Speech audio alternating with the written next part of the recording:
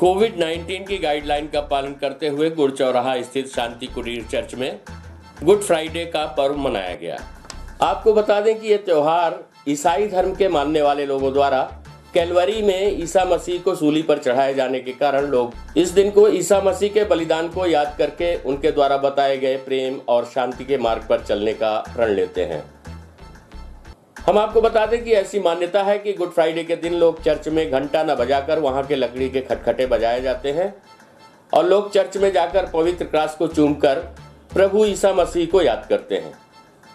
इसी कड़ी में आज शांति कुटीर चर्च के फादर जॉन टाइडे द्वारा अनुयायियों को संबोधित करते हुए प्रभु ईसा मसीह के पच्चिन्हों पर चलने की प्रेरणा दी गई। प्रस्तुत है इस संबंध में एक झलकी सहित श्रीमती मधु टाइडे से प्राप्त जानकारी के अंश। कुछ और बातें आप लोगों से आज पांचवा दिन है। इतवार को हमने उसको राजा बनाया था और आज ये पांचवा दिन है कि आज के दिन वही 20 लाख लोगों में से कई लोग कह रहे हैं, प्रभु यीशु मसीह को शूली पे चढ़ाओ, उसको मारो।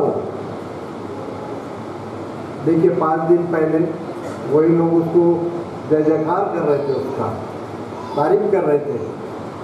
और पाँच दिन के बाद, आज शुक्रवार के दिन, उसको कहते इसको सूर्य पे लटकाओ उसको मारो। हमारे बदले जो डाकू है, उसको छोड़ दो। लेकिन प्रभु यीशु मसीह को मारो। कैसी अजीब दुनिया है ये। और आज का जो पुण्य शुक्रवार है, उत्तम शुक्रवार, इसको उत्तम क्यों कहते हैं? आज तो प्रभु यीशु मसीह का बलिदान हुआ है। और इसमें पुण्य हम क्यों कहते हैं? क्योंकि हमारे लिए, मानव जाति के लिए पुण्य शुक्रवार है।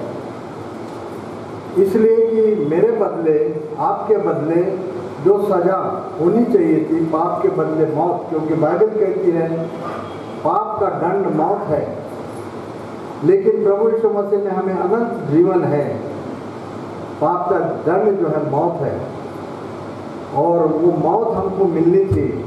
लेकिन हमारे बदले में प्रभु यीशु मसीह ने मौत स्वीकार की और उस मौत स्वीकार करने के बाद हम लोग बच गए। इसलिए हम मानव जाति के लिए उत्तम शुक्रवार है। आज गुड फ्राइडे है, जिसको उत्तम शुक्रवार के रूप में मनाया जाता है।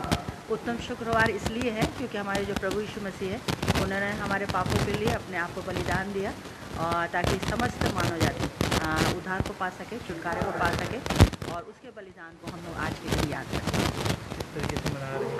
इसको मनाने का तरीका एक ही है कि हम गंभीरता से लें इस बात को, क्योंकि जो हमारा प्रभु यीशु मसीह उसने अपने लोगों को बहाया है, प्राण दिया है, उसने हमारे लिए घोड़े खाए हैं, उसने हमारे लिए कांटों का ताज पहना है, हमारे लिए यातनाएँ सहे, क्यों?